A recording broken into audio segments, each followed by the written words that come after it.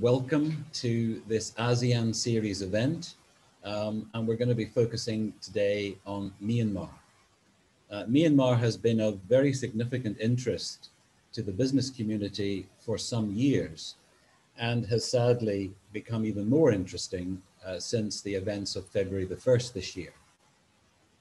The event this morning is in collaboration with our chamber member control risks and uh, ISEAS Yusof Ishak Institute, which is uh, the preeminent uh, research institute on all matters Southeast Asian. Delighted to have two guest speakers, uh, Mr. Romain Caillaud, uh, who joins us today from Tokyo, uh, where, we, where he's enjoying the sakura blossom, um, uh, Romain is an associate fellow of the Myanmar Studies Program at ISEAS Yusof Ishak Institute. And he will, he will start first and, and present to you on the political situation in the country. Um, uh, Romain will be followed by Mr. John Bray, uh, Director of Control Risks. Um, and John is going to give us some perspective on um, the events uh, that have taken place since February the 1st, looking back very briefly to the 1990s, and then really focusing on how the events since February the 1st this year are affecting different businesses in different ways, and, and what businesses can do about the risks of doing business in Myanmar today. Um, at any time during the uh, webinar, please feel free to type in your questions in the Q&A box You'll find that in the toolbar at the bottom of your screen. Um, as moderator, I have one favor to ask, and that is please make your questions short and sweet. Uh, uh, uh, try and avoid the temptation to write a paragraph or, or an essay. It makes my job much easier and it allows me to pose more questions to our speakers. So we can all get more out of their expertise and their analyses. So without further ado, I'm going to pass you over to Romain, uh, who will present first, uh, and uh, he will be followed immediately by John. Romain, it, the floor is yours. Thank you. Thank you, Victor.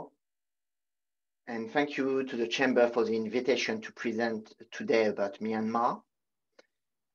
I'm actually uh, filling in for my colleague Moe Thuzar, who is a co-coordinator of the Myanmar Studies program at ISEAS. Uh, however, she had a conflicting uh, appointment. Um, so here I am, and uh, I'm very uh, interested about Myanmar. I've been, uh, I first lived in Myanmar in 2006.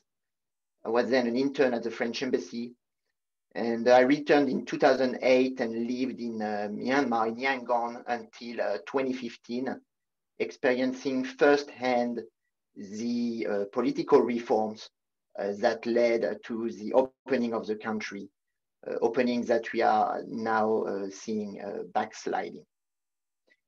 So my presentation today will be focused on the political situation um, as of now, what, why the coup, uh, what has happened since, and uh, some of the reactions by the international community. I can also address uh, reactions by the business community and what it means for investors uh, at a later stage during the Q&A session alongside John. Um, so I'll start by um, talking about the, the bloodless coup that, that took place on uh, February 1. And that really came as a surprise to uh, most observers. There had been uh, knowledge of tensions between uh, the NLD government and the military uh, prior to the coup. However, it is my assessment that uh, very few expected the coup to happen. And so what happened is that the the NLD leadership, including uh, Aung San Suu Kyi and uh, President Win Myint, were rounded up. Uh, the two of them remain uh, in, under house arrest or incarcerated at this stage um, incommunicado. And uh, members of parliament from the NLD were also uh, rounded up. Some have been released.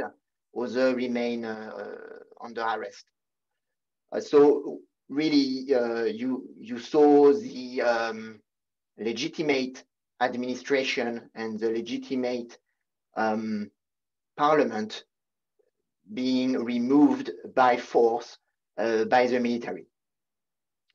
And I will talk uh, later on about the why and, and the, the, reason that the military has put forward for these uh, actions.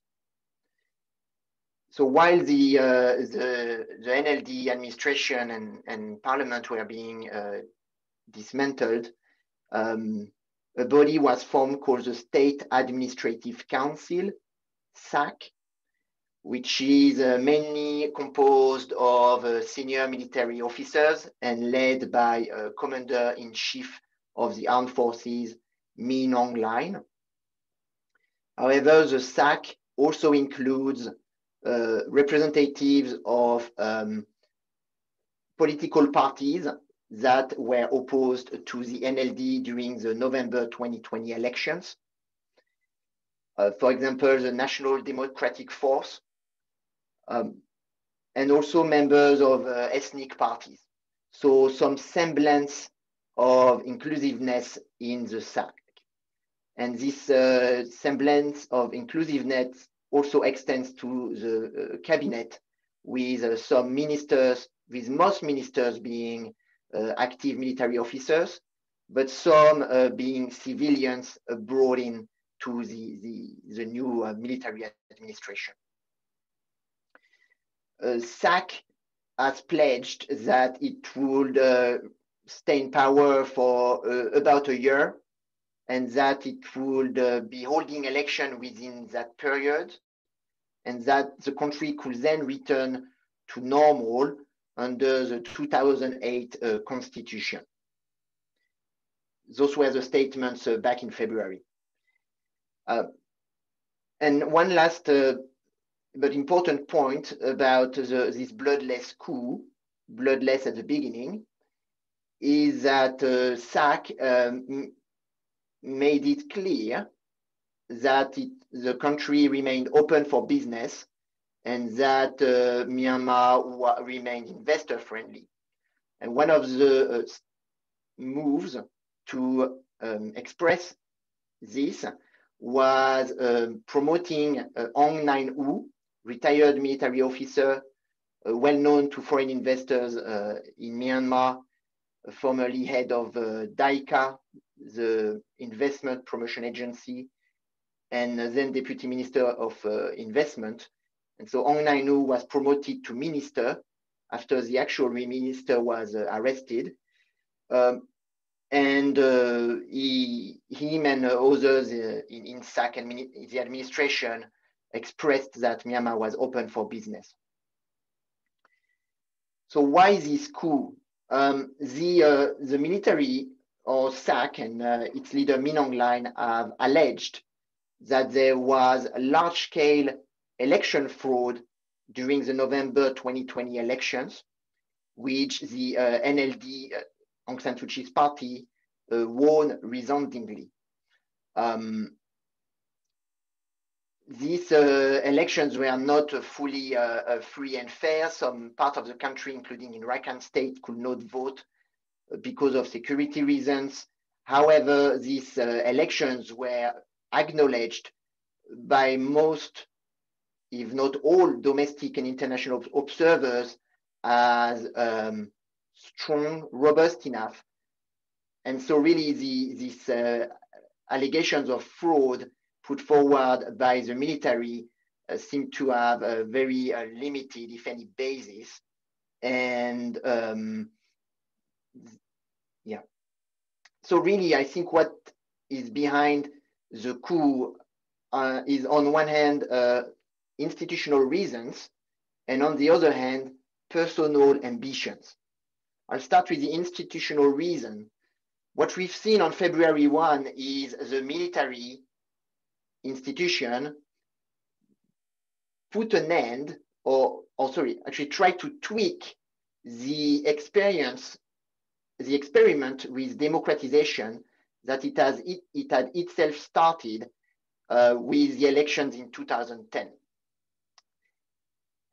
and under the 2008 constitution, really a framework that uh, provides um, protections to the military interest through the 25% of seats in parliament, through control over the three uh, main ministries dealing with national security, etc.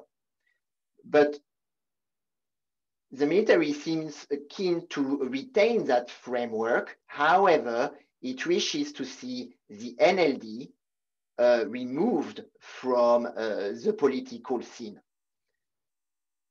And so, and this is uh, because, in my opinion, uh, the NLD winning resoundingly a second time at the polls in November 2020, following on the victory of November 2015, this signaled to the military that uh, its framework, its constitutional and political framework, was going to be under increasing pressure from the inside as the NLD uh, continued to uh, rule the civilian bits of the of the government and state, and uh, will try to push for more control uh, in that framework for elected uh, civilians. I think another re institutional reason uh, is that the, the NLD uh, administration from 2015 to early 2021 had tried cautiously, but um, in a very uh, dedicated manner to try to address some of the structural corruption and uh, economic mismanagement that Myanmar had been facing for decades, including in a way that benefits uh, institutional and personal military interests. And so I, I think there is also, I assess there is also some uh, economic reason behind uh, this, uh, this move. Beyond these institutional reasons, I, I think it's important to consider also the personal ambitions of Min Aung Hlaing, uh, head of SAC and uh, commander-in-chief of the military. Min Aung Hlaing really uh, took his position in 2010, replacing former General Than Shwe as head of the military. And so he has been uh, the, the head of the military throughout this reform process from 2010 to 2020. And um, his uh, mandate had already been extended once uh, beyond retirement age, and it was becoming clear that uh, after uh, February 1, when the uh, newly elected parliament was supposed to sit and then move forward towards electing a new administration, it was becoming clear that uh, Min Aung Hlaing would be pushed out and would have to abandon his role as commander in chief, and also that he was not to be granted the role of uh, president, um, which would likely have gone to, uh, again, to an NLD uh, representative. So it is understood that Aung Hlaing felt personally threatened or pushed aside, and that beyond institutional reasons, that mean uh, the military has followed him in this coup, the coup has also very personal uh, drivers.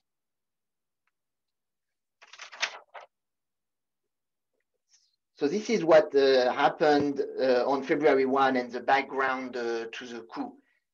And I think uh, really the, the military and Min Hlaing have miscalculated in that they underestimated the pushback that they are now facing coming from all parts of Myanmar society. First, I mean, the, the protests, the street protests have been underestimated. Um, I think it's the comparison with uh, Thailand or Hong Kong does not uh, really hold um, because the, the protests that uh, have been taking place in Myanmar are really large in size. There were days where possibly hundreds of thousands, if not millions of people demonstrated throughout the country.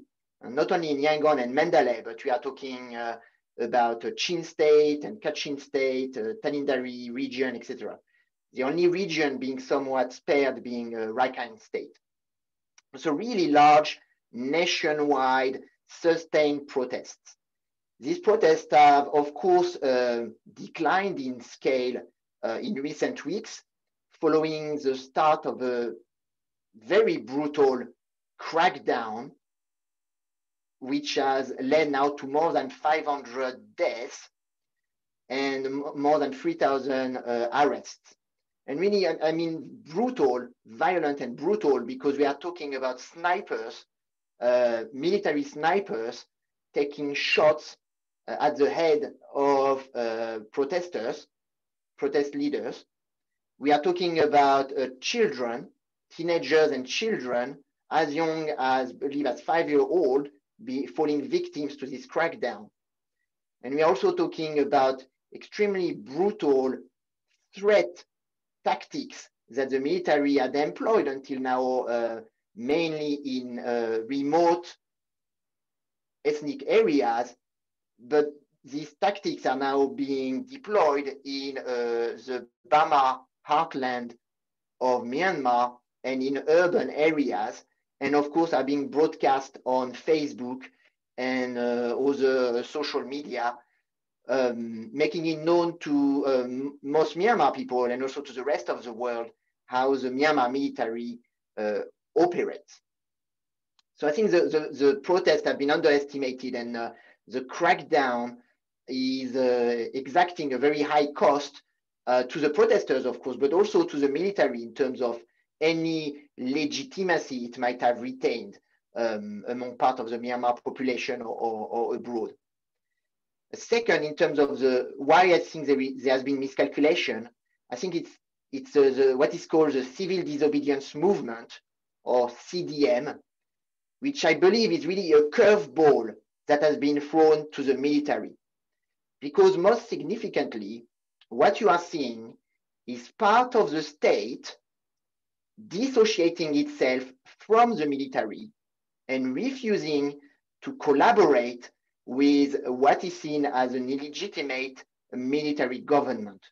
And so practically, since February 1, we've seen thousands of civil servants in the health ministry, education ministry, information ministry, energy ministry, etc., walk away uh, from their roles and refuse to work. Um, I think most prominently uh, known to an international audience is uh, what has happened within the Ministry of Foreign Affairs with ambassador to the United Nations in New York, Kyaw Moe Tun, uh, to the surprise of everybody um, during a meeting, making a speech announcing that he was joining the, the, the that he was uh, defecting uh, de facto from uh, the, the military government to join uh, the, the other side. So really this CDM is affecting the ability of SAC, of the military to govern. You are also seeing some local ward and village offices um, which uh, uh really uh, administer uh, government locally not being able to function because people, old um, officers are being removed and new ones refuse to take their new roles because they do not want to be associated with SAC. Um, and the CDM is driven by various tactics. It's uh, you have uh, people who are civil servants who just don't, you know, who just don't want to work uh, with uh, SAC for moral uh, reasons. You also have a, a, very strong naming and shaming um, activities undertaken by Myanmar uh, citizens online, offline. Um, you also have a fundraising that is happening to sustain the CDM you have safe houses that are being provided to uh, protect some of these uh, civil servants. So really uh, an underground resistance movement with links throughout Myanmar and uh, abroad that is gaining uh, a lot of strength daily despite the violent crackdown of the military. Um, as part of the CDM, but not uh, relating necessarily uh, to the civil service, you have uh, strikes. so for example, a lot of employees at banks are refusing to work. And so the, the banking sector is not working as usual, deeply affecting the economy and the business environment as an example. One last thing I will mention as to why I think the military has miscalculated um, and uh, underestimated the pushback, the reaction to its coup, is what is happening with the ethnic armed groups um, or ethnic armed organizations, EAOs are they are uh, called in uh, Myanmar lingo. Um, what you saw uh, after February 1 is an attempt by SAC to conquer and divide or to, um, to buy, try to buy off the EAOs by uh, stating that it would resume the peace process, that it would provide some concessions uh, to them, that it will be a better partner to the EAOs than the NLD government had been. Uh, and some of the EAOs uh, went for it at first. Uh, for example, the Arakan army, uh, which is a relatively new and relatively small but impactful um, ethnic insurgency uh, in northern Rakhine state on the border with Bangladesh, which the Myanmar military has been unable to uh, militarily defeat uh, in recent years. And so uh, you saw the, the military uh, try to give uh, seats in, in its administration to prominent Rakhine politicians, Another prominent Rakhine politician was released from prison. And so the, this attempt to buy off uh, the support of the Arakan army and other EAOs. However, these attempts have faltered uh, over the weeks as um, the protests and the CDM have grown in, in, in the Bama heartland and beyond, and EAO and EAOs have uh, increasingly decided to align themselves with uh, this uh, domestic resistance movement, especially as um, this uh, resistance movement now has um, a key representative, a key body representing it, which is called the CRPH, Committee Representing the Pyidaungsu Hluttaw, and that consists of a number of uh, NLD members of parliament who should have taken their seats on February 1. Many of them are now in hiding. Some of them might be outside of the country. Um, but uh, in any case, they are communicating, uh, coming up with statements and trying to negotiate with the EAOs and all civil society organizations and other parts of Myanmar society to present a united front against uh, SAC and also uh, to seek legitimacy internationally as a counter government to uh, SAC.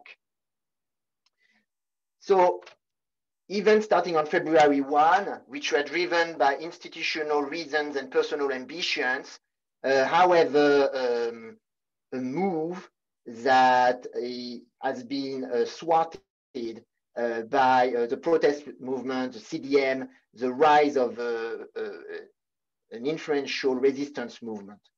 Uh, so where are we at now?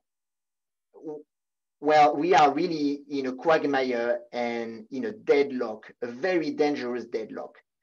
On one hand, you have the, the military uh, SAC and Min Aung um, sticking to the plan at whatever cost it takes.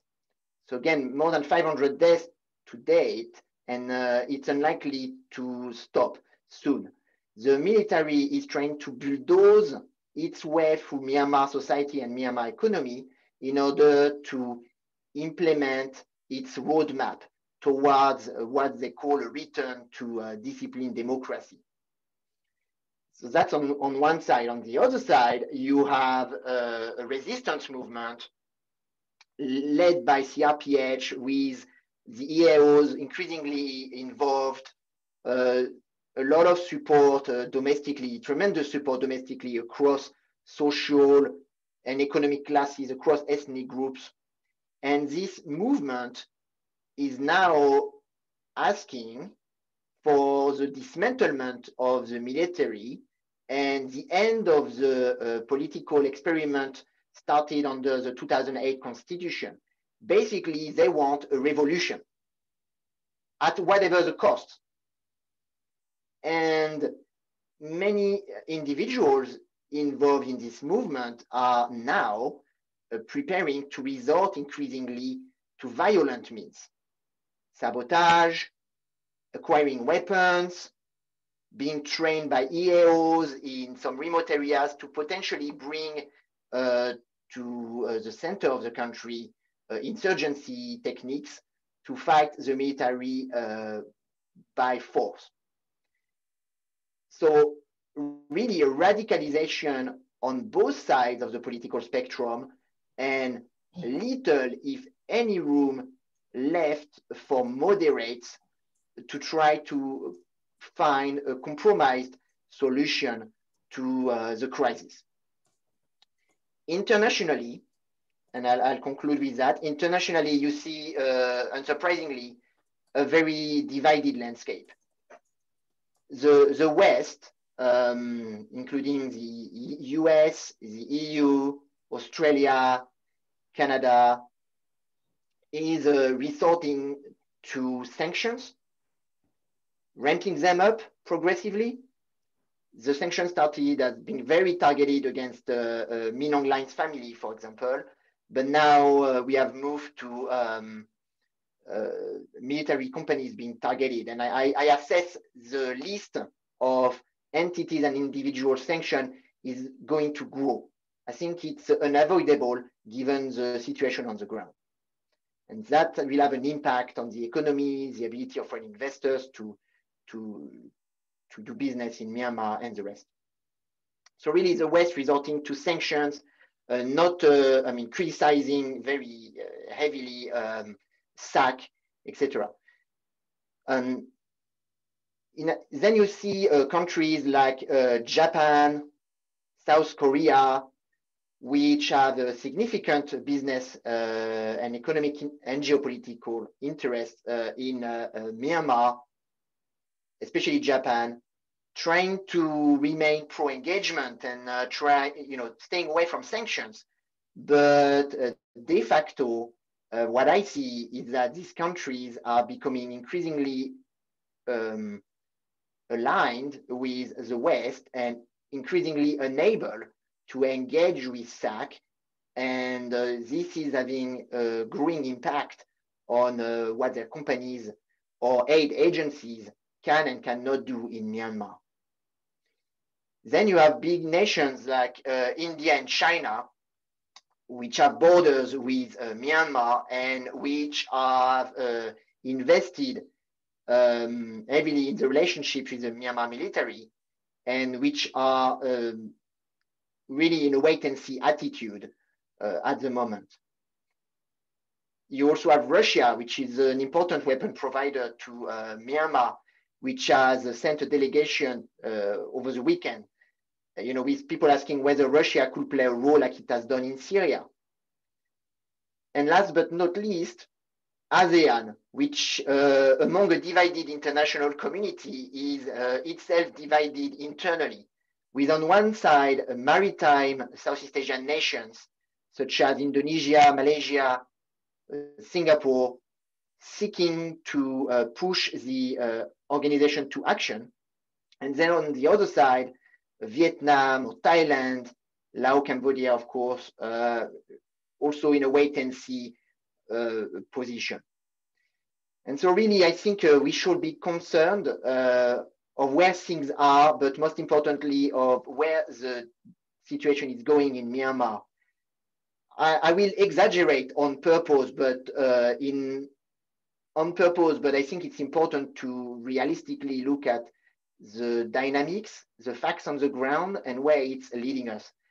I think on, on we could see potentially a Syria or Libya-like scenario with uh, a military that uh, retains control over its uh, forces, but does not uh, hold most of uh, a lot of its territory with the EAOs and uh, some Bama opposition forces Uh, waging a sustained conflict uh, on the ground in uh, in in Myanmar within Southeast Asia. That's Syria in Southeast Asia, very concerning. We are not there yet, but uh, there is a, clearly a possibility that we get to that stage. Another scenario is a North Korea-like scenario, where the military, in order to impose its plan, bulldoze its plan for Myanmar society and economy, um, goes all in with violence, um, maybe uh, uh, has to nationalize or take control over part of the economy and uh, internet connections with uh, the outside world, etc., etc. Really, Myanmar becoming again a hermit and pariah country because this is uh, to the benefits of the military and some of its uh, senior leadership. I truly hope, I truly hope there is a third way, a third way whereby um, there can be some dialogue, some compromise with moderate forces within the military and within the resistance movement, and whereby uh, the gains of the last 10 years that Myanmar has experienced, whether it's in terms of uh, foreign investment or in terms of democratization and the, the growth of uh, an independent media, etc. I really hope that there is a third way where these gains can be protected and a compromise can be found. But what is clear is that the longer the international community fails to respond in a coordinated manner to what is happening on the ground in Myanmar, the more difficult search a third way uh, it will be to find.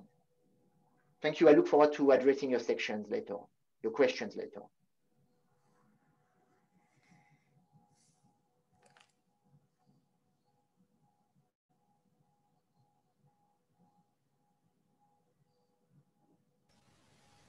John, over to you. Thank you very much.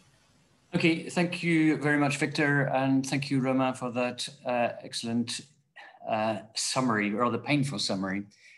Um, I just have very few slides uh, to focus attention.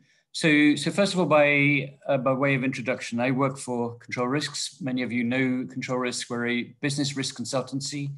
I'm based in Singapore. I'm part of an interdisciplinary team working very closely with our clients in Myanmar, which is taking up most of my waking hours at the moment.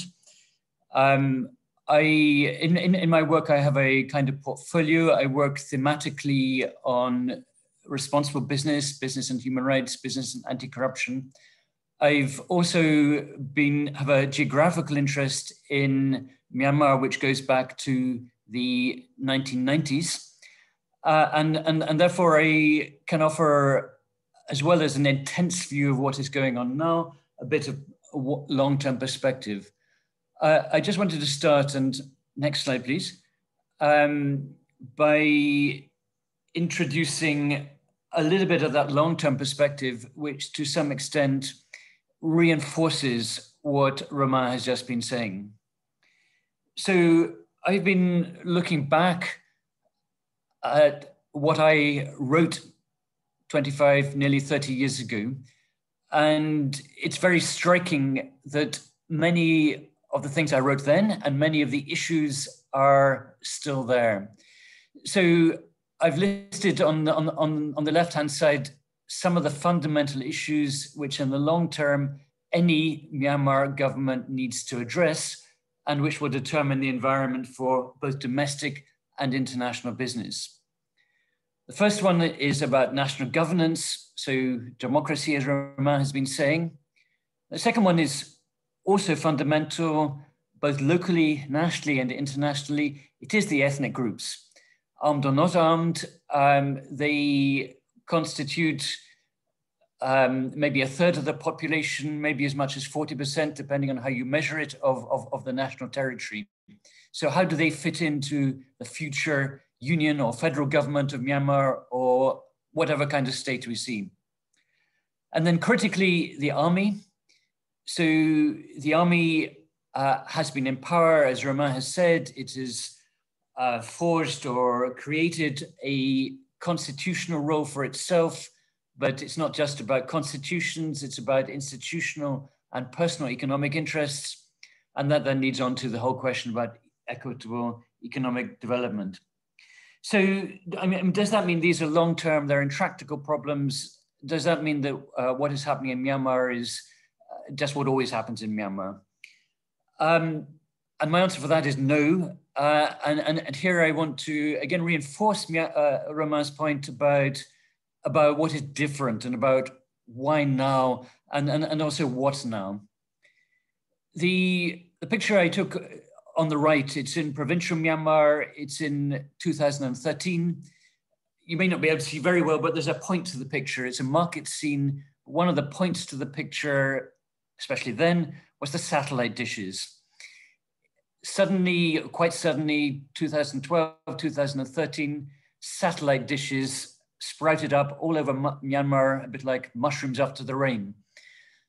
And what I'm picking up on there is that Myanmar isn't an isolated country. It's actually quite hard to see it becoming North Korea.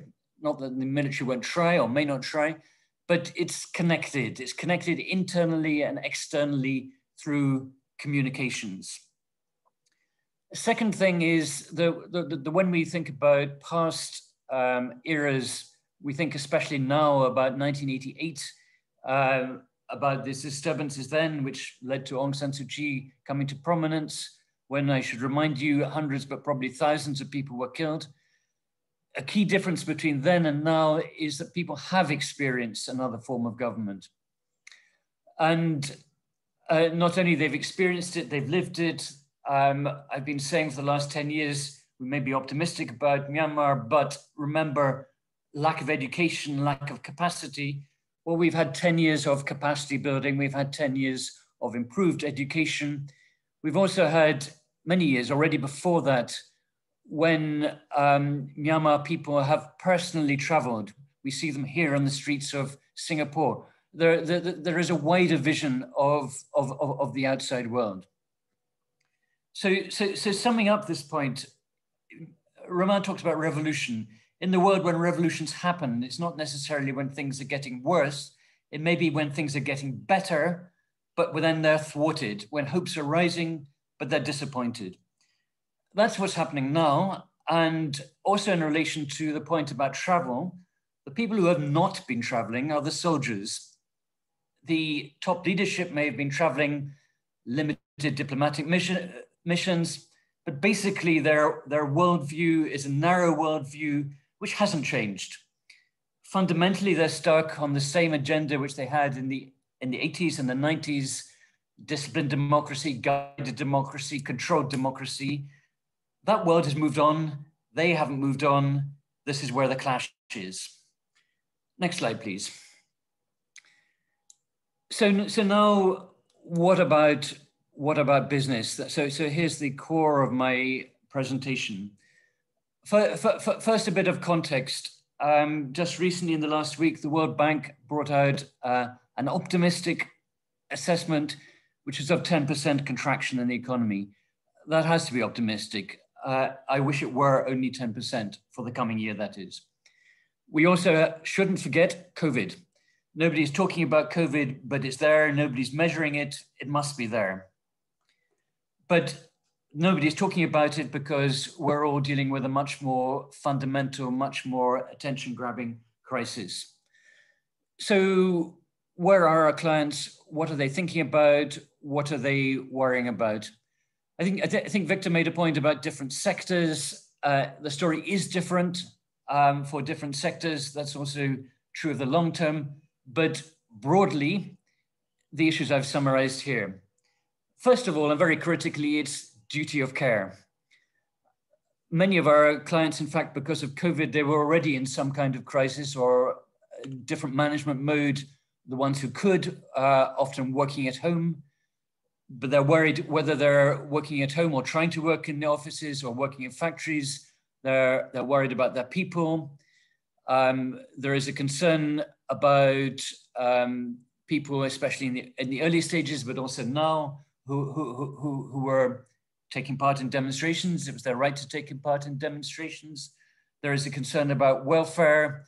This is not um, a crisis which is happening in remote places.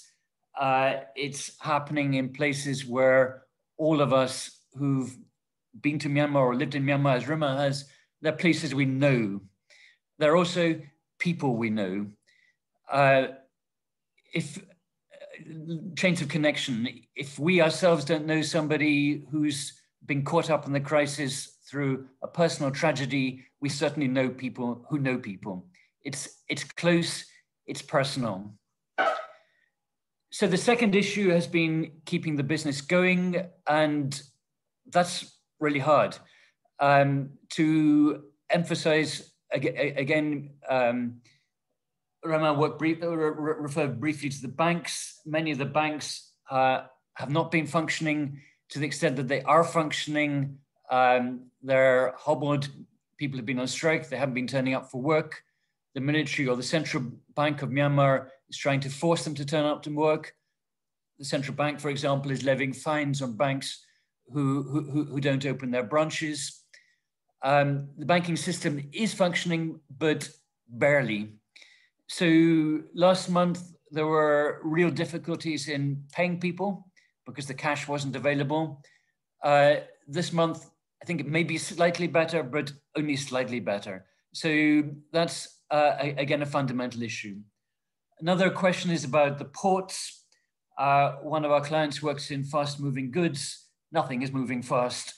Many of the goods um, which he wanted to, which they wanted to import, are stuck at the ports they're paying demurrage, paying a fine because they're stuck, um, which is probably already greater than the value of the goods that are stuck. Um, that then leads to this, this, this really difficult question about can they be neutral? So um, one quite um, carefully worded statement, which was issued by a group of companies in mid-February, coordinated by the Myanmar Center for Responsible Business. It was a um, carefully phrased statement about we are companies who are committed to Myanmar.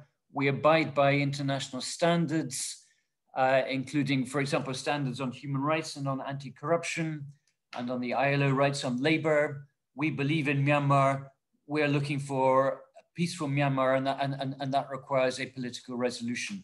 That was a measured statement. I, I think it's fair to say that the SAC wouldn't have liked it. But now companies are facing even more acute dilemmas. For example, do, do they pay taxes? And if so, if so, how and when? Um, Romain referred to the CRPH. This is the alternative government. Tomorrow there, there are plans actually to announce its government and, and, and ministers. These are MPs who have been elected. They have issued a statement suspending tax payments until, uh, and, and, and, until September. What do companies do in that situation? Many of their employees are saying to management, don't pay taxes. The CRPH, which is legitimate, is saying, don't do so. Why should you do so? For now, it's possible to prevaricate when the banks are not working anyway. It's quite difficult to pay taxes. It's also quite complex. Um, but can you prevaricate indefinitely? Then um, thinking about the future, what actually can we think about? So um, before I get to that, I, I, I, I just want to pick up on sanctions. As Romain said, the sanctions started by being targeted against individuals by the commander in chief and his family, so, so named individuals and their business interests. Um, this is on the part of the US, UK, EU, um, Canada, not yet Australia, although Australia has individuals named.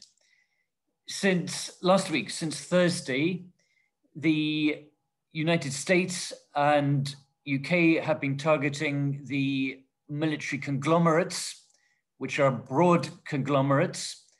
Uh, the Myawaddy Bank, which is owned by Myanmar Economic Holdings, military conglomerate, is one of the largest banks. Um, this actually is, the sanctions are new, but the focus on banks is not new. Many leading, I should say, Western international companies had already been seeking to minimize formal business relationships with those companies anyway, and particularly since 2019, following the publication of a UN report on the economic interests of the military. So, so, so the issue isn't new, but the intensity is new, and there will be repercussions. So, for example, last Thursday, immediately after these sanctions were announced, I was having a discussion with a international bank. Um, they had a question, which is how easy is it to do due diligence in Myanmar? So I sort of said, well, we do it all the time, and this is what you need to do. But but then he elaborated on the how easy. I, I mean, he, he didn't want a complicated answer. He wanted an easy answer. Basically, his point was that as a bank, he's the head of sanctions in the bank. They're going to scrutinize all financial uh, transactions with Myanmar. If they can't find easy answers, they're simply going to say, well, don't touch it. It's easier to say, halt the transaction rather than to um, consider detailed due diligence. Another point, um, which may be a sign of things to come, on Monday, the UK, the, the US announced uh, a suspension of a, a, trade, specifically it was something called the Trade and Investment Framework Agreement, signed in 2013. It requires um, conversations between US and Myanmar government officials. It's easy to understand that um, the US isn't in the mood to have conversations right now. So it's not surprising that this has been suspended, nevertheless, a bad sign. What was also mentioned at the end of the statement from the US trade representative was that Myanmar's GSP, Generalized System of um, Preferences, which is a trade agreement giving Myanmar exports certain privileges, was also coming up for renewal, and there would be hard questions. My, I mean, my current view is that there may be hard questions, but there would be a good reason for not suspending GSP or in the EU, EU case, anything but arms privileges. There would be good reasons for not doing it because the whole tenor of international policy is towards somehow targeted sanctions. But the point I'm making is that it would be more difficult to make that decision, and also that even targeted sanctions, the targets are getting broader, and therefore the wider impact is also getting broader. So, so, so, so then to my question about um, dare we think about the future? So, as I say, most of our conversations with our, our, our clients have been about hanging on. They've been about short term, but they have been saying, can we be here in six months' time? And I've been saying, um, for example, to the fast moving goods company, well, I hope so. This is a personal global citizen's view. I hope so because you're providing goods that people need. You're providing, you're working in a sector which is not controversial. Why not? I'm saying that somewhat rhetorically, but unfortunately, there is a there are all sorts of business reasons why not. Uh, there, the, the, there are questions about can you even function? So if you cannot function, then then how long do you um, hang on? Um, another phrase from a client this week was bleeding money. We're bleeding money. Do we stay? Um, that conversation was also about, but if we if we announce that we're going, do we put our people under risk, at, at, at risk? Are they, for example, going to be summoned in for questioning to explain the, the decision? So um, next slide, please. So that um, takes us into um, views about, about the future. Like everybody else, um, we're thinking about scenarios where um, challenged. Scenarios are not predictions. Uh, just quickly, this picture is of a of a taxi driver seeing the road ahead. Um, that picture was taken last year. It couldn't be taken this year because he has lots of NLD Aung San Suu Kyi paraphernalia, uh, and he would be at risk of arrest or worse if he displayed those now. But um, looking looking at our, our scenarios, we currently have unfinished coup, which is basically where we are now. Uh, it is clear, as Romain has said, that the military's plans are thwarted. It's stuck. There is a deadlock. It's a deadly deadlock, but it's sort of within the military's plans. It's calculated.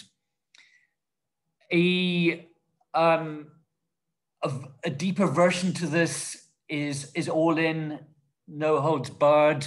It's an escalation of violence on both sides. Uh, as Romain said, on the opposition side, people are, are saying, look, we need to defend ourselves. There is talk about sabotage. The, the, the, there is talk about alliances with ethnic armed groups. Uh, that, that, that, that is a worse version um, where, again, echoing a conversation with a client, are we there now? We think not yet. But the phrases that were coming up were edging, gliding, slipping towards that scenario. The third one is, is, is, is straining the imagination. They've called it catastrophe or, or, or compromise. We can, as Romain has said, we can get even worse. Um, I, I, I do hesitate about Syria, but categorically we can get worse. So how can we avoid that? So the, the, the, the phrase catastrophe, catastrophe or compromise, one of the billion chat, million or billion dollar questions is about the military leadership. I can't see the commander in chief resigning. I can't imagine a palace coup. If we had a palace coup, would that open up a little room for um, some kind of political negotiation? Just possibly, but only just possibly. Nevertheless, I'm trying to imagine, I'm straining to imagine uh, a situation where, having looked at an even worse scenario, which is all too credible, somebody finds a room for some kind of phased um, phased negotiation. As Romain says, uh, international community is important. I've been saying it's not decisive in the sense that the current military leadership is not going to be guided by the, by the international community unless it sees fewer other options. It's possible, it's conceivable that if the alternative is an even bigger catastrophe, we're already in catastrophe, but an even bigger catastrophe, I could imagine, I hope to imagine some kind of maneuver to, to towards a negotiating compromise. That is a strain but Myanmar has the capacity to supply us in bad ways, maybe, maybe in good ways. I really don't, and my, I, I guess my final points, um, we were saying uh, in our prep talk last week, I, I, I, wanted to end on a not totally pessimistic note. Again, I'm struggling not to end on a totally pessimistic note, but some final points. There are enduring strengths of the country location, market, natural resources, people. Those people, I mentioned capacity building, they have built capacity, they have a vision of the future. There are new visions of the future. It, it's not just the NLD, the NLD had its own problems. There are new visions of the future. There is a world struggling to be born, a new kind of Myanmar struggling to be born. It really is a struggle. But in that future, I do think that business, responsible business, has a critical role to play. And in that sense, I really don't want to give up. That's a personal view. Um, and it's John Bray as global citizen, not John Bray as hard-nosed business analyst talking to individual companies. Those individual companies have really tough decisions to make, and they must take account of tough commercial realities as they make them. So that's my talk. Um, we look forward to questions and discussions. Well, thank you very much, um, Romain and uh, John. Um, that was two very interesting presentations um, uh, filled with, on the one hand, um, concern, despair, and yet hope. Um, but what struck me as someone who has, um, you know, watched what's been going on in Myanmar for uh, nearly 40 years is why on earth was the coup really necessary, given the fact that the military dominates uh, the, the, the parliament and the political decision making process? I mean, this to me was the most astonishing thing of all. And the only thing that I could uh, explain it was there must be real personal animosity going on between uh, Aung San Suu Kyi on the one hand and the commander in chief on the other. You know, would you agree that rather than purely institutional reasons, it was that personal uh, animosity or non-relationship that led to February the 1st? I, I, I, should I try and, and, and Romain, um, I would say the personal thing is critical. So mm. to Myanmar, uh, Aung San Suu Kyi and the, and the commander in chief weren't talking to each other. That, that, that, that's clearly a mistake. I, I, I also think that the decision was taken by a small group of people with limited horizons. Uh, the rest of the world wasn't fundamentally expecting it for the reasons you give. And, and, and, and the way it has turned out mean that they trying to put ourselves in our shoes, in, in the general shoes, we wouldn't have done that. We would have been right not to do it. I, I mean, having said that, um, I don't think we should completely discount other opinions. Strange things do happen in elections, and, and I'm even thinking about the UK elections. I, I, again, it's a bit of a stretch, um, and it may not make much sense in Singapore, but the Liberal Party before our latest UK elections was expecting to play a much more important role than it actually did play and, and, and then the leader lost her seats. So, so, so, so I don't think it was just the generals who, who were in a different world. I think some of the people on their side also were in a different world. Um, but I, I, I guess the question also has another angle, which is there is a small group of people. Well, what about the people under them? And, and I, am still saying this is the million or billion chat question. Uh, what, what, what happens to the military as an institution? There's no sign of anything, no actual sign of anything happening other than the military staying together. I can't see any clear indicator, but there is a lot of supposition, which is more than plausible supposition. There must be people in the military who are feeling the pain, the personal pain, um, but there's a lot of fear about doing anything about it. Yeah. Romain, have you anything you would like to add? Yeah, I mean, uh, obviously the, the relationship uh, between uh, Min and Aung San Suu Kyi was quasi inexistent and completely broke down.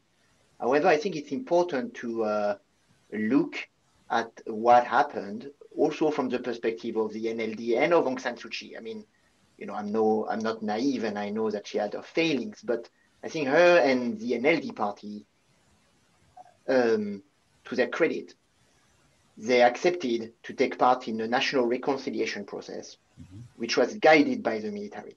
They went very far, very far in aligning with the military interests, including uh, during the Rohingya crisis, right? And actually, what the the, le- the extent to which uh, Aung San Suu Kyi and the NLD aligned with the interest of the military then is going to make it very difficult for part of the international community to now turn around and uh, give give them support again. But really, and I think you know that's why Victor, you are so surprised, and I was surprised, and many others were surprised because yes, it was not perfect, and I. But you know, really, the core interests of the military had not been uh, put in danger. Mm. But maybe the question there, as an institution, was until when? Mm. And I think you know there was I think fundamentally there was a divergence in view, I think, for the NLD and, and the Myanmar population, uh, all in all. The, the idea was that, well, the military has started to give up uh, political power, and this is a trend that will continue. It's a natural way of things.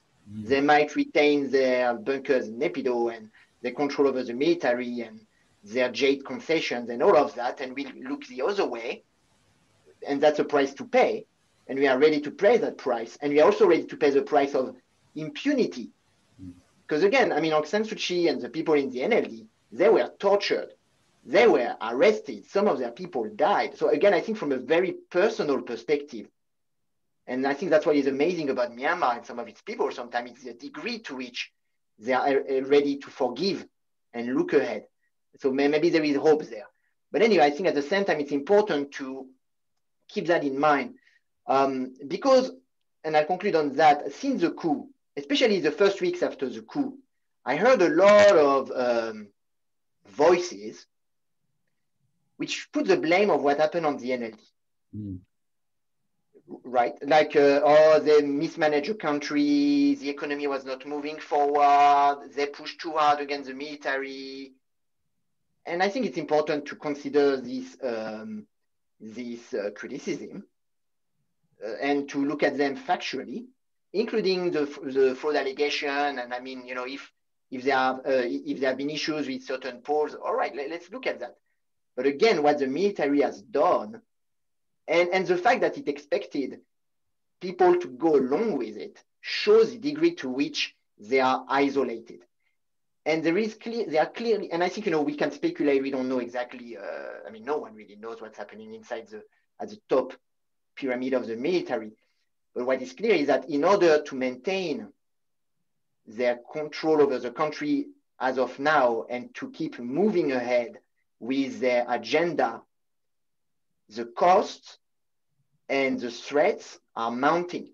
The amount of people who have been detained, released, some detained again, the number of people who are under official or unofficial house arrest is tremendous. I'll tell you, an, I mean, I, I, have many examples to give.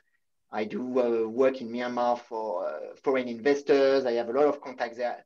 But just as an example, um, I know of a very powerful tycoon extremely powerful tycoon who basically cannot leave the country, does not trust his uh, personal security officers who are around him, but know that they might be actually not protecting him, but watching him on behalf of the people in Naypyidaw.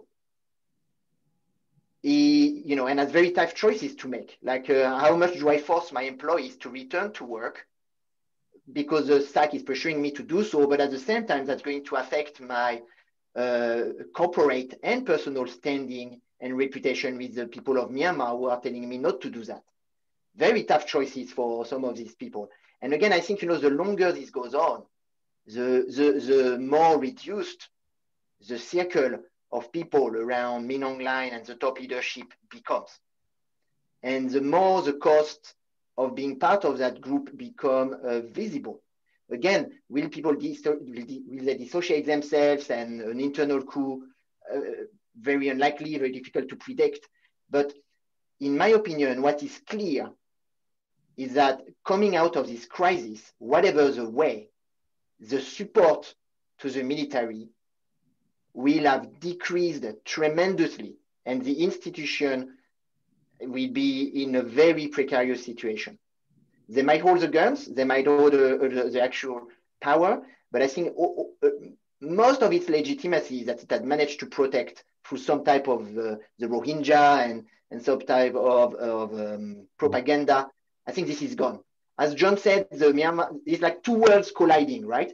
You have people in Naypyidaw reading the New Light of Myanmar and doing the parade on Saturday. Mm. And then you have the rest of the Myanmar people, including the tycoons, including uh, uh, family members of military who are watching Facebook and looking at people being shot, more than 100 of them on Saturday. And those are the two worlds that collide.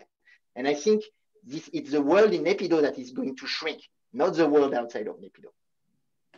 And, and, you know, maybe in a in a in a real sense, um, this almost had to happen for that prestige of the army to be uh, as undermined as you suggest it now is. Um, and, and, maybe there is that hope that they've gone too far. And as you both sort of commented, they, they've miscalculated. But bringing this back to businesses, I mean, how does a business get through this? You can't pay your staff. Um, your staff don't turn up for work because they're on strike. Um, on the other hand, you're being pushed by the military authorities to keep your premises and places of work open. And I've heard quite a few stories of pressure being placed on um, uh, businesses owned by Myanmar nationals, as well as businesses owned by run by foreign investors, foreign business people. Um, I mean, how? What, what are your your contacts telling you? How are businesses managing through this? It's really tough. I guess again we both have views on it, um, but it is it is day by day and and, and it's week by week. Uh, it does involve listening to the employees. Um, it does involve um, keeping things going where you can, and and, and that, that, that again is partly why I mentioned fast moving consumer goods. These the, these are things that people need. Um, so you're in an easier position if you're if you're in those kinds of sectors. Um, I, I, I mean, sector does matter, but frankly, it is day by day uh, and, and week by week. And I guess we have to be quite, we have to acknowledge that the six month question is not an easy question. Um, even the companies, the international companies, that primarily who I'm thinking about, yeah. who, who want to be in Myanmar are, are really asking whether they can be. I think, I, I mean, in practice, the we're not seeing that many outright withdrawals yet. Yeah. Um, we we Control Risks. We had some conversations which came to an abrupt stop on February the first um, about, about people who wanted to go in. Oddly enough, we have had a handful of conversations with people who had deals they really wanted to to, to go through um, somewhat surprisingly, but, but, we have had those conversations. Um, probably the majority view is um, you can't but be slowing down, but, but, but, but hanging on for now. Indeed, and of course, as you say, it, it, is early. So which sectors are most negatively impacted? Because you stressed in your presentation and in your comments a few moments ago that it does matter what sector uh, your business is in. So if you're not in fast moving consumer goods, uh, what, what are those sectors that are feeling this most seriously? Well, I, I mean, anything, and quite a lot of the Myanmar economy um, is affected by the suspension of mobile phone data. So, so, so that's not just international companies; it's also small companies. Yeah. Um, that it, incidentally is um, a kind of question about. Uh, so it illustrates very clearly the military's priority is security. It makes sense from that point of view to shut down mobile data. But if they want to present business and usual as usual, they have to seriously think about opening that up um, at some point. Governments, um, governments. Now here's a contrast with the 90s. Uh, so the international campaign groups were saying we don't want anything jeans, shirts, whatever made in Myanmar. Now they're saying we will actively campaign against um, suspension of garment imports. Um, but nonetheless, H&M has said it is suspending because we can't guarantee supplies. Mm -hmm. Um, oil and gas is in a really difficult strategic position. They have to make long-term decisions because of the nature of their investment cycle. They are under pressure, so the question about taxes uh, applies to them, but on a much larger scale. Um, no easy way out for them unless the UN takes the decision for them, uh, UN sanctions, and, and, and right now we don't see that. So they politically are very much stuck between a rock and the hard place. That cliche about the rock and the hard place applies one way or another to, to everyone, including us, as, as Romain has said, the the tycoon. So so on, I mean on that point, on our reputational due diligence, we were looking at some of these tycoons. A classic question for an international mm-hmm. was: This tycoon made his money under the previous regime? Are they sufficiently reformed? Do we trust them? Um, ironically, those same people uh, are ironically, or the twist turns of history, um, those same people are feeling pressure from from from from this regime and, and, and are really really caught. I'm sure Romain has lots to add. Yeah, thank, yeah, thank you, John. I think it's a great picture, and uh, maybe I'll talk about uh, the view from Japan. Mm-hmm. I mean, I, even though I know you, you, uh, you, guys at Control Risk do a lot of, of great work with uh, Japanese clients, but um, really, I think, I mean, there have been some exits. I mean, in Japan, uh, prominently uh, Kirin, even though I mean it's in the public domain, they announced they were they want to exit their joint venture with now US sanctioned military conglomerate MEHL yeah. uh, into Myanmar beer. But they had said, and that's back in February, that they wanted to remain in the market in some way or another. Could have been soft drinks or, I mean, but really on exit, what I see talking to people on the ground in um, in Yangon is uh, you you have uh, other smaller operators that exit discreetly. So, for example, I have a contact who told me how he was uh, helping, um, let's say, a manufacturer do a discount sale on all the equipment and the goods that had been produced that were in stock because they are just going for the exit and trying to recoup losses as much as possible. Mm. And uh, so I think you know there is this there is some of that happening.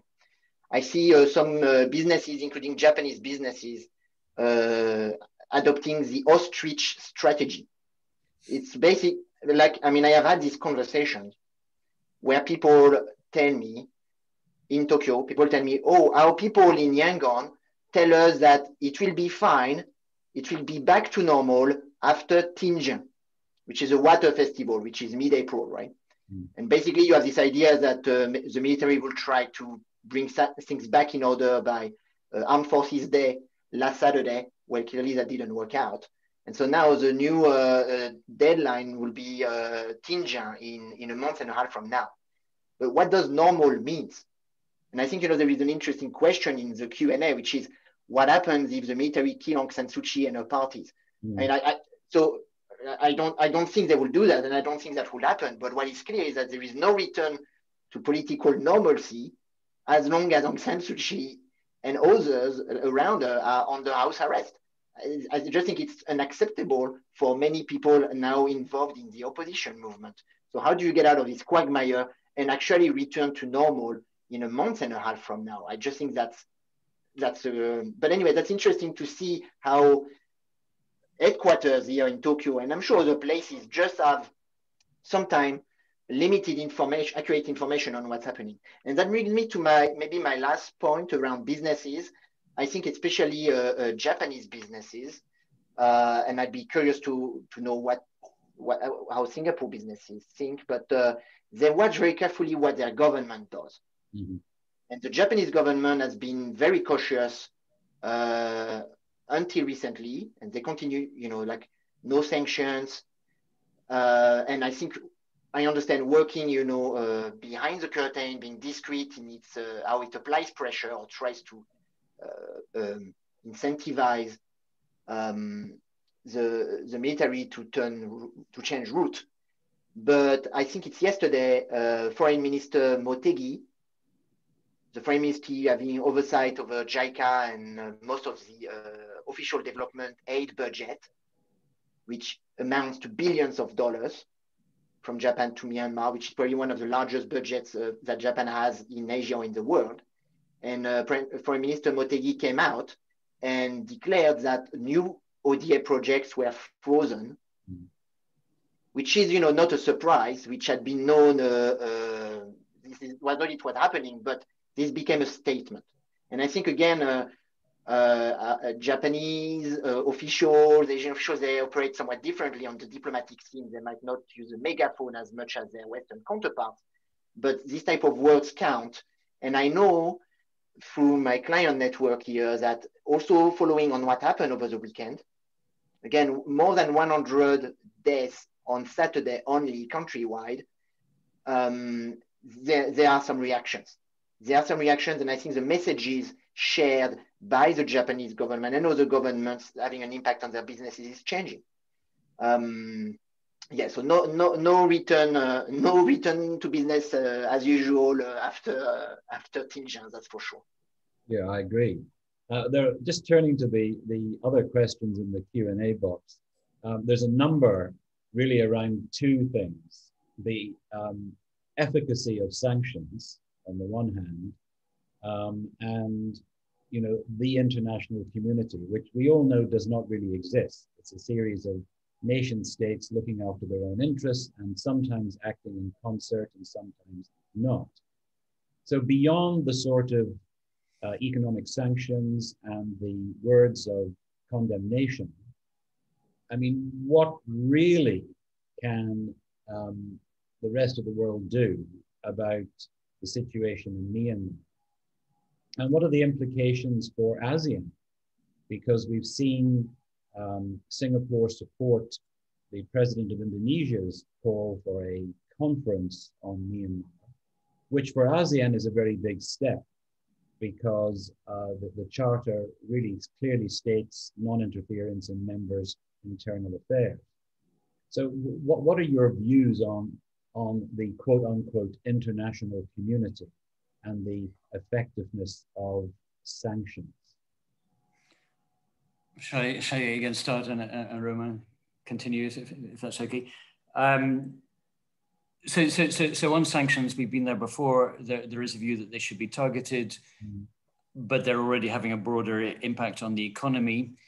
Um, I, I, I, guess my summary view is, is, is that the regime, again, as I've said, it listens to the international community when it wants to, um, when it feels it has to. I'm not sure that it's got to that point yet. I think on the streets of Myanmar, there is frustration. Um, they're saying how many people have to die before the international community does something.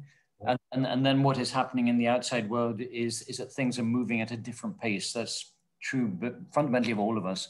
Let's say of all the countries concerned, um, I guess it's especially true of ASEAN trying to put together some kind of consensus. There, again, last week I was having a, a, a, kind of scenario discussion about what, what could push things forward. CRPH is, is, is, is important. Um, so to the extent uh, it's making a presentation, I understand, to the UN Security Council in the next few days. To, so, so the extent to which it can establish its credibility as an alternative government in waiting, not just in waiting there, mm. that, that will make a difference. Um, ASEAN would make a difference. Um, so, so the UN Security Council is saying we're looking to see what ASEAN is going to say the, the, it's, it's not so much buck passing. Um, it's really helpful for the Security Council if ASEAN does say something, and the other way around as well. So, so, so it's a kind of conversation. China, we've, we and we scarcely mentioned China.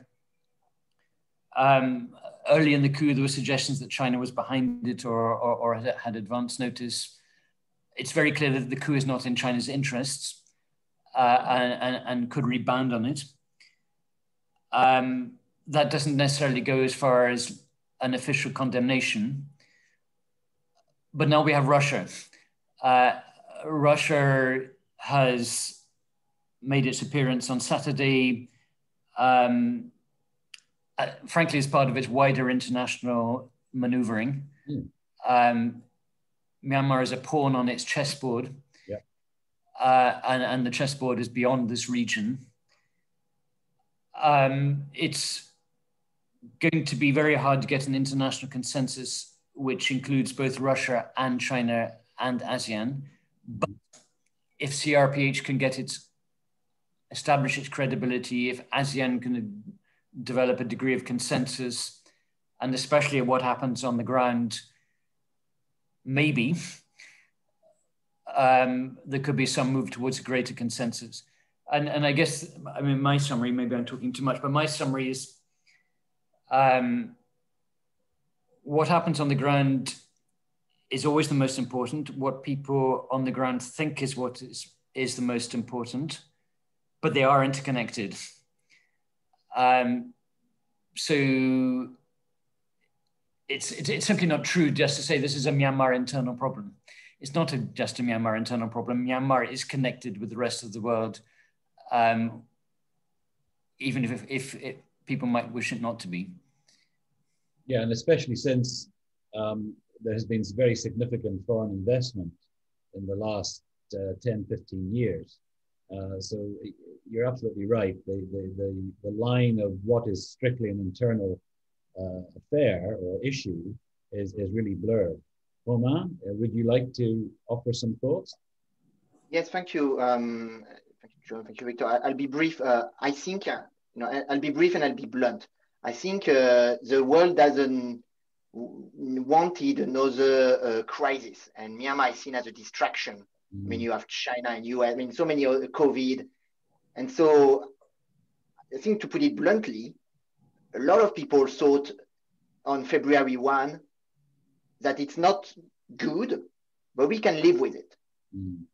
I mean, you know, it's like Thailand, or, you know, they, we can live with this regime. It's another authoritarian regime that maybe delivers uh, technocratically, we, we, can live with it. And I think it's really the events on the ground which are which have completely uh, made that plan impossible. And I think this is and and because the events on the ground show no sign of moving towards a, resolution, my assessment is that the West will increasingly uh, have to switch morally and uh, for political reasons toward a hard sanctions stance, San uh, some sanction targeted, but also you know politically some recognition to CRPH. I think we are moving towards that with the repercussion on the key Asian partners, Japan, South Korea, and pressure put to bear on ASEAN. I'm starting to hear questions as, I mean, so the big question is in November, if there is an ASEAN meeting with Biden, I mean, will Myanmar take part in that summit? Or what will be the status of, of uh, Myanmar within ASEAN at the time? And before that big summit, there are a lot of ASEAN meetings where Myanmar is represented before. And the question is increasingly being asked. Is it okay to have a Myanmar counterpart there while actually the legitimate person is in jail? And I think, you know, this question will become increasingly asked and whether maybe ASEAN doesn't want to act or cannot act. But I think because of the pressure, it's going to, to lead to action. And I'll conclude by saying, by addressing the question around economic sanctions don't work. Yes, economic sanctions by themselves don't work. And uh, when, you, when you are North Korea, even coordinated global uh, UN economic sanctions don't work. Okay, understood. But I think my assessment, my view is that the Myanmar generals don't want to be North Korea. They want to have international legitimacy. They want to retain a role in ASEAN, and they think that they can get away with, uh, with their coup, or they thought that they could. And I think that it will become increasingly clear that they know there is no return to normal after Thingyan. It's not business as usual, and it's not like Thein 2.0. And so as a result, I, I think that uh, there is a bit of hope in that the mix of uh, uh, Western pressure and uh, Asian engagement because of circumstances on the ground come together to try to, to create some, top, some type of compromise. Let's hope. Thank you.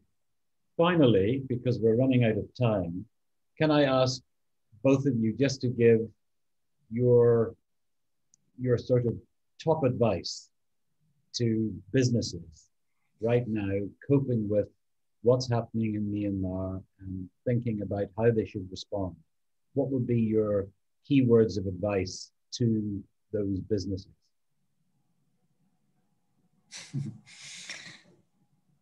Maybe I'll, I'll start uh, this time, John. If you, and uh, really, I think be informed, and the way to be informed is by listening to different voices. I know that there are I know that there are a lot of advisors who are again saying, you know, it's about like 50 50% chance, and you know, uh, it's going the military is so strong, they just hold power. And maybe it's true in some way, but I think given this unprecedented crisis, which is evolving very fast with a lot of stakeholders, I think it's essential to listen to different voices, including divergent ones, contrarian voices. Otherwise, you risk being in a bubble and not seeing the risks that are uh, emerging and rising around you as a business. And of course, that's not just true for Myanmar, that's true for nearly everything else in this world. John. Yeah, okay, so I, I, I, was thinking, talk, listen to your Myanmar staff, but you do have a duty of care and, and you also have a source of information. I do think challenge yourself. You heard me struggling to challenge myself, thinking about six months or in a year's time. So, how will your decision now look in a year's time? The reality of international business is um, that you do need to think not just about Myanmar, but how your business is seen internationally. Uh, that, that particularly applies if you have if you do happen to have links with military conglomerates or or, or, or depending on um, the um, military in some way or another. And I guess I would put my this is personal, not uh, rather like I ended my presentation. I would wish I hesitate to put it as an advice, but I would wish that they can hang on. Thank you. Thank you both um, for your time and for sharing your insights and analyses with us today.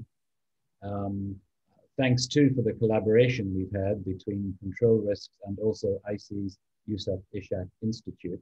And let me thank the audience for being um, engaged and for some excellent questions on the international community angles, inverted commas, and sanctions and um, the way forward.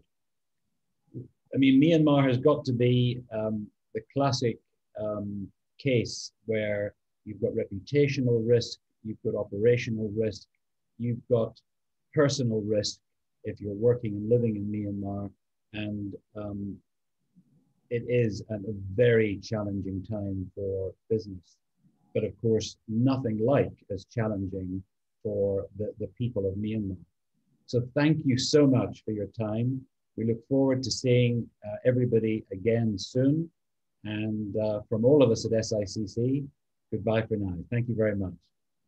Thank you. Thank you. Thank you.